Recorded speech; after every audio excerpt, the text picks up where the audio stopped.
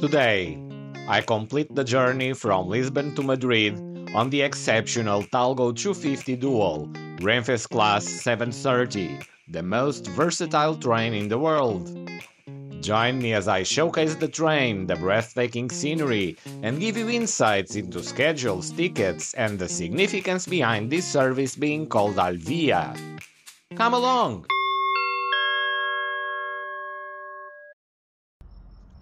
Hola y bienvenidos a Badajoz.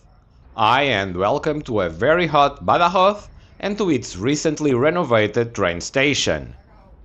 As part of the project to bring high-speed trains to this area of Spain, Badajoz and other stations along the line from Madrid to the Portuguese border are being upgraded to modern standards. The result here is quite appealing. Outside, I used the opportunity to train spot a little as this class 599 arrives with the regional express from Puertollano. Ladies and gentlemen, let me introduce you to the Talgo 250 Dual, Renfe's class 730, the most versatile train in the world. This train can operate on both the European 1435mm gauge and in the Iberian 1668mm. It can also operate under various electric tensions and even using diesel power on unelectrified lines. It has maximum operating speeds of 250 km per hour on 1435mm high-speed lines, 220 km per hour on electrified conventional lines, and 180 km per hour when powered by the onboard diesel engine. Its adaptability truly makes it the globetrotter of the rails. I will be traveling from Badajoz to Madrid on this incredible train and you are joining me. Later in the video, I'll provide more details on the history of this train and explain the meaning of the service's brand Alvia as they are connected. Time to board and give you a panorama of the comfort class car where I will travel to Madrid. As usual on Spanish trains, the interiors are in neutral colors, very calming and relaxing. This is my seat, 7A on car 2. It's a comfortable leather seat with generous legroom. The sticker above links to the onboard entertainment available in the apps Play Renfe and PressReader for comfort class passengers. There's this nice table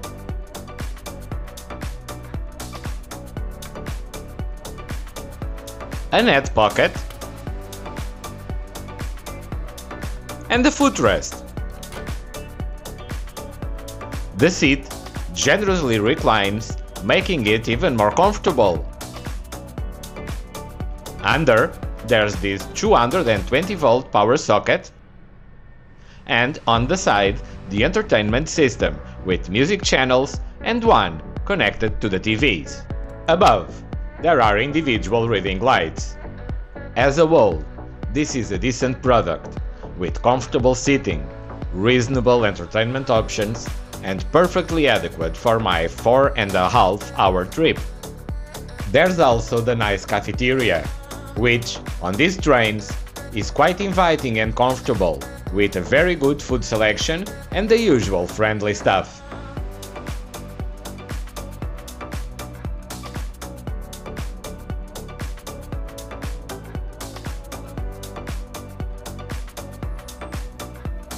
Departure is at 5.43 pm on schedule. Since not all sections of the track from here to Merida are under electric tension, we leave Badajoz using the diesel engine. Later, after Merida, the train will switch to the 25 kV catenary and we will be able to reach speeds of 200 km per hour up to Cáceres and Plasencia, where the electrification ends. Starting September 11th, the 193 km from Badajoz to Plasencia will be covered using 25 kV power. With the trip already underway, it's a good time to check the map for today's trip. On part 1 of this journey, we came all the way from Lisbon to Badajoz. Today, we will cover the remaining around 460 kilometers to Madrid Atocha Cercanías, with stops at Mérida, Cáceres, Plasencia, Navalmoral de la Mata, among other stations, in 4 hours and 35 minutes. I will let you enjoy the scenery for now, and will come back before the stop in Merida to tell you a little about this fascinating city. Enjoy!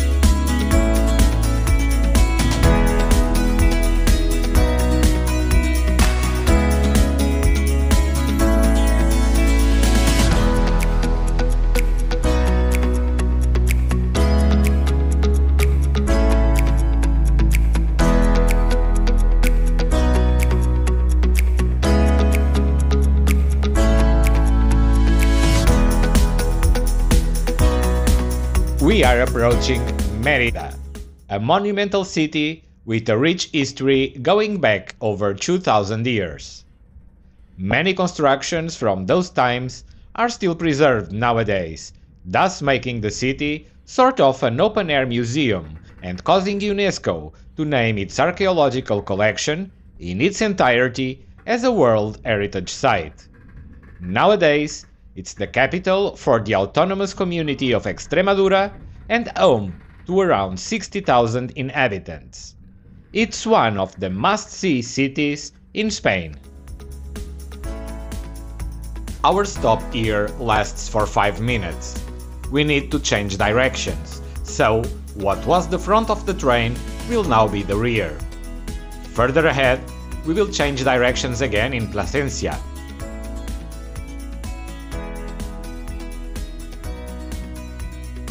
During this stop, I show you the train's power group, which includes the electric equipment in the locomotive and the diesel generator immediately behind it. Note also the unique Talgo wheel arrangement, which features independent wheels shared by two adjoining cars. The opening of the signal ahead marks our departure from this truly remarkable city. For me, it's also time for a snack at the cafeteria and to enjoy some food and scenery, which I'll use to tell you a little about this service's name, Alvia. Alvia stands for Alta Velocidad en Vía Internacional y Ancha, which translates to high speed in international and broad gauges in English. It's Renfe's brand for services that utilize high speed and conventional lines. The service has been in operation since 2006. Although nowadays other services also operate using international and broad gauges, the name Alvia has continued to be used on multiple services within the Spanish network. This brings us back to the Talgo 250 Dual. With the introduction of the Alvia services, Renfe soon realized that some of the destinations where these services would be useful were not electrified. This prompted Talgo to find a solution to that problem, leading to the creation of this train. Renfe needed a train that could travel to any destination and this led to the modification of 15 Class 130s with the addition of a generator. This modification resulted in the creation of the most versatile train in the world, Renfe's Class 730. In the summer of 2022, Alvia services were extended to Badajoz, diminishing travel times between Madrid and this region. Although these services use only broad gauge tracks on this connection, the higher speeds and shorter travel times led to an increase in readership.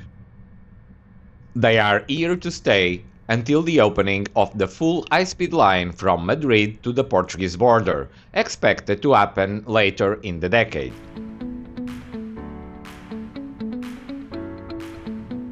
With all this talk, we reach Cáceres, less than 1 hour and 20 minutes after leaving Badajoz. This is another stunning city with a medieval walled city that has been designated as a World Heritage Site by UNESCO. It's home to approximately 100,000 inhabitants and is worth a visit if you are in the region. There are lots of passengers waiting for this train, the last of the day, to Madrid.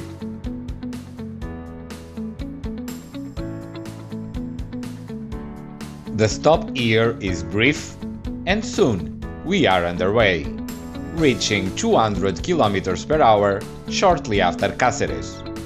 Also, take note of the time and temperature. This is, indeed, a hot region of the country. With the rivers Almonte and Tagus in the background, let me tell you how much I paid for this trip from Lisbon to Madrid. The whole thing cost me 69 euros and 35 cents for a ticket purchased two weeks before traveling, with the portion from Badajoz to Madrid costing 49 euros and 55 cents. It's a steal. Bear in mind, however, that fares are dynamic and change based on specific trains and how far in advance you buy the ticket. Navalmoral de la Mata is our final stop with daylight still lingering. The sun is setting quickly, marking the end of this delightful day. Now, I'd like to share my thoughts on the day-long journey from Lisbon on the Atlantic coast to Madrid in the heart of the Iberian Peninsula. In a way, it feels like traveling through time. I began the trip in the 1990s from Lisbon to Entroncamento continued into the 1970s or 80s from there to Abrantes, took a further step back to the 1950s or 60s from Abrantes to Badajoz, and finally arrived in the 21st century on the last leg from Badajoz to Madrid. The Portuguese Intercity offers a decent travel experience, but it's in need of modernization to meet current standards. The Allan railcar is not suitable for the nearly three-hour journey from Entroncamento to Badajoz. The journey on the Portuguese side of the border feels more like an adventure than a comfortable trip. However, upon entering Spain, the experience changes with their trains and services. The Class 730 is perfectly reasonable, providing professional service and meeting the expectations of passengers for a modern railway company. This is not a trip for those who want to travel quickly from Lisbon to Madrid. However, it's a great idea for those who want to make the journey an integral part of their travel experience. It's calm and relaxed and allows for a brief stop to explore another city, Badajoz. I hope you enjoyed this video and found it useful. If you did, please give it a thumbs up, share it with your friends, subscribe to my channel, and leave me a comment below. Your support is very helpful and indeed means a lot. Thank you for being here and see you next week in a trip from Malaga to Madrid.